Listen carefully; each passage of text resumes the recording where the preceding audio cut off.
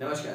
कैसे हैं आप सब? उम्मीद करते हैं आप सब बढ़िया होंगे। तो आज की क्लास में जो क्वेश्चन है, वो है एलसीएम और एचसीएफ से रिलेटेड तो वीडियो को पॉज करें, एक बार उस क्वेश्चन को खुद सॉल्व करें। और नेक्स्ट क्वेश्चन आपके लिए एक और है, जिसको आप, जो क्वेश्चन आपको मिलेगा वीडियो को एंड में, उसका आंसर भी आपने किसमें करना है? कमेंट सेक्शन में। आइए, ये क्वेश्चन स्टार्ट कर लें।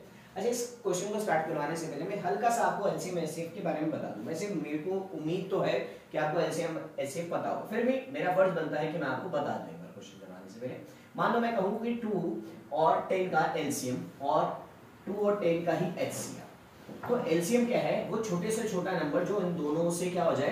कंप्लीटली डिवाइड हो जाए। तो वो कौन है? टेन है। टेन टू से डिवाइड हो जाता है टेन टेन से डिवाइड हो जाता है। एचसीएफ क्या है?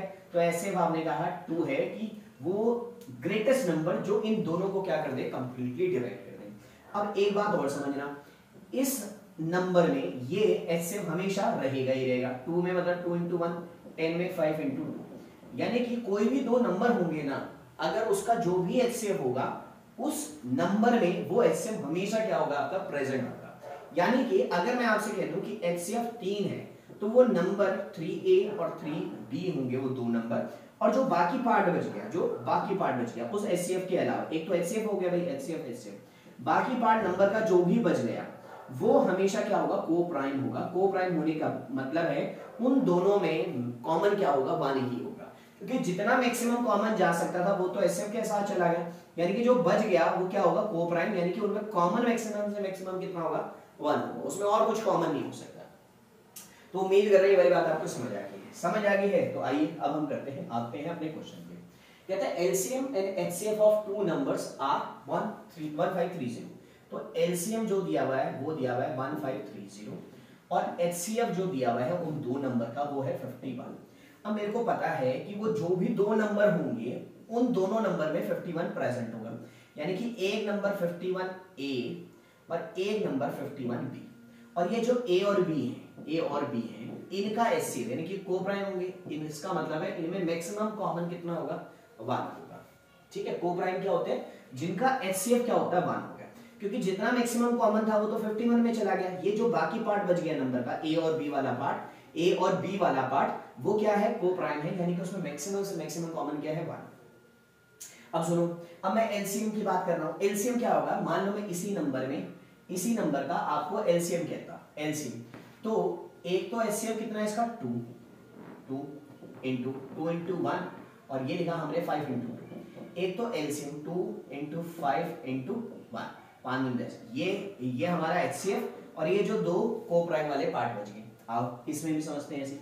तो हमने कहा एलसीएम है वन फाइव थ्री ज़ीरो एक तो इन दोनों में जो एच है, वो आएगा एलसीएम में। इन टू में जो दो को प्राइम पार्ट बच गए। इक्वल टू किसके आएगा वन फाइव थ्री ज़ीरो के। एलसीएम इसके इक्वल रहा होगा। ठीक है।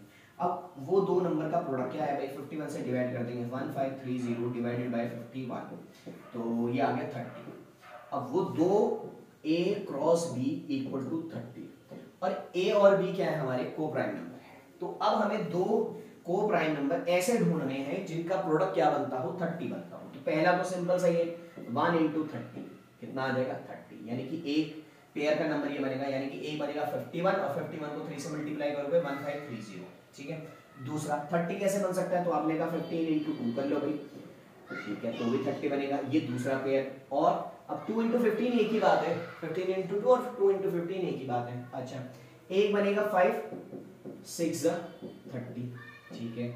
और एक बनेगा 10 थ्री थर्टी और ये सारे आपस में कोप्राइम है। इनका एचसीएफ इसको इसके साथ एचसीएफ निकालोगे वन इसको इसके साथ एचसीएफ निकालोगे वन इसको इसके साथ एचसीएफ निकालोगे वन है ना? तो कितने पेयर बने? तो आपने कहा चार पेयर बने। तो आंसर क्या है इसका? फोर फॉर एग्ज़ाम्पल समझाने के लिए बता रहा हूँ। मान लिया।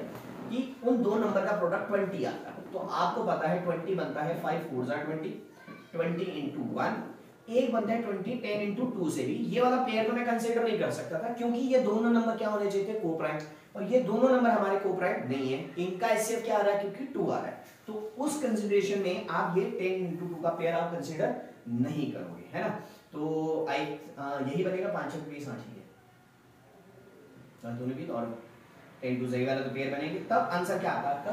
टू आता तो उम्मीद कर रहे हैं, आपको ये कंसेप्ट समझ आ गया है है ना? इसमें आपको कोई डाउट नहीं है। आपके लिए जो प्रैक्टिस क्वेश्चन है, वो है क्वेश्चन नंबर ये। इसका आंसर आप मुझे करना कमेंट सेक्शन में। तो आज की क्लास में इतना ही। मिलते हैं आपसे नेक्स्ट क्लास में। तब तक के लिए नमस्कार।